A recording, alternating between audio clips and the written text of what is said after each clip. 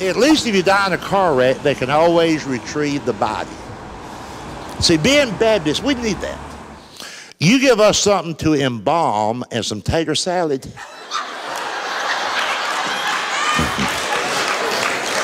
we, we,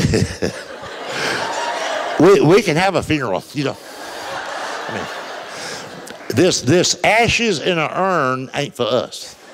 If you hear a Baptist talk about cremating, that's not a full blood Baptist. He probably married outside his faith. if you hear a Baptist talk about burning something, it's going to be biscuits or leaves. It's not going to be Uncle Larry.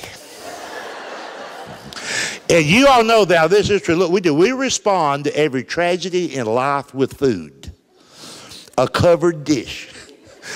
We'll knock on somebody's front door and go, Sorry to hear about your son in law. Here's some baked beans.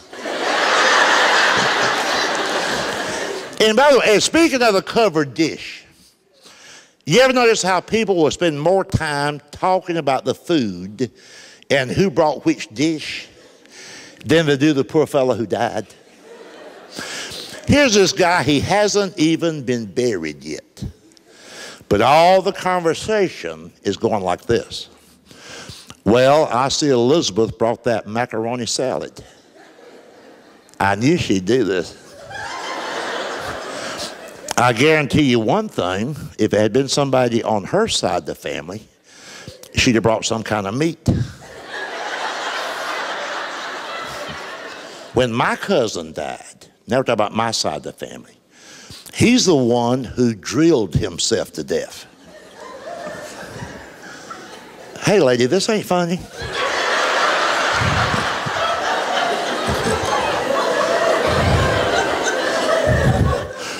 what happened was he had this high-powered Black & Decker drill. And he was going to put the screw back in his cowboy belt buckle.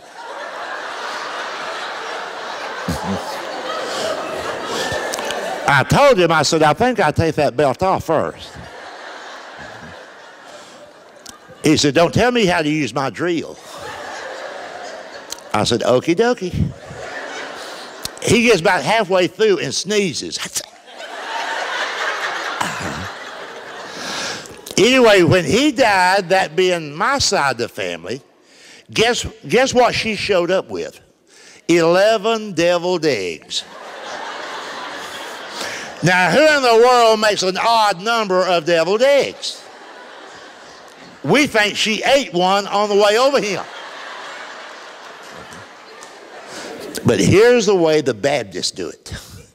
The moment we hear someone has been admitted into the hospital, we go grocery shopping.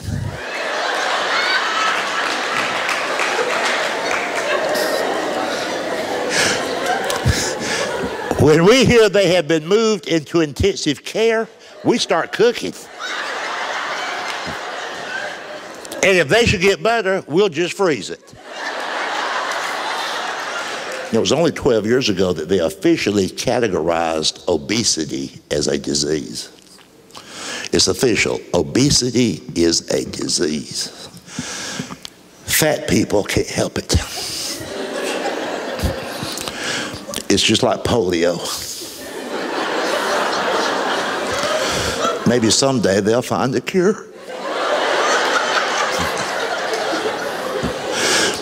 Nobody in this room really believes that obesity is a disease. I mean, come on.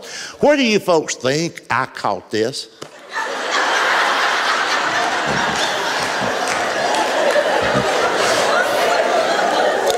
Got too close to a fat person.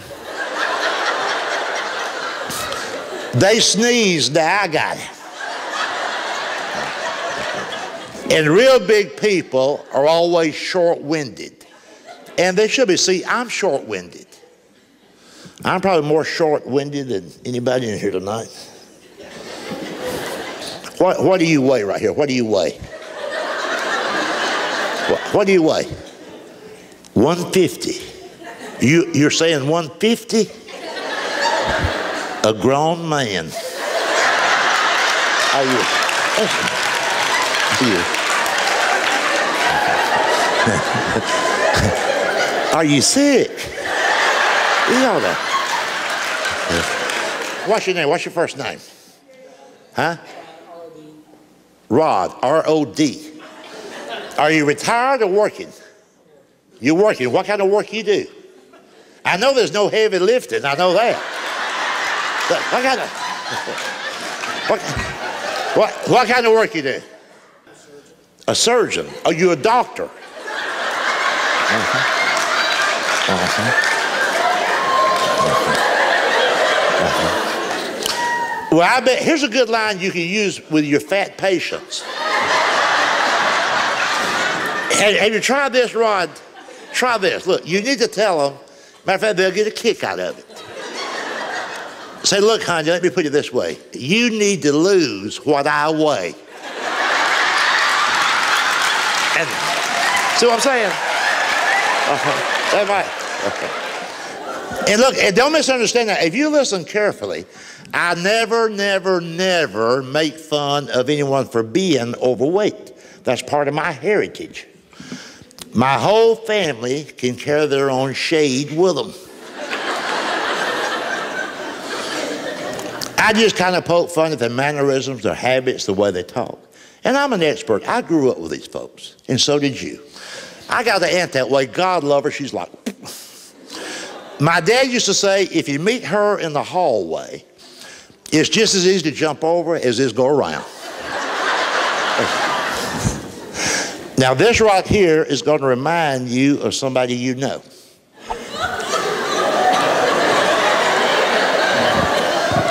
I ate more than I planned to. I think starting tomorrow, I'm going some kind of a diet. Well, no, I can't tomorrow. We're going to Cracker Barrel tomorrow. I'm good mind to change doctors. Uh, Dr. Rod ain't doing me no good.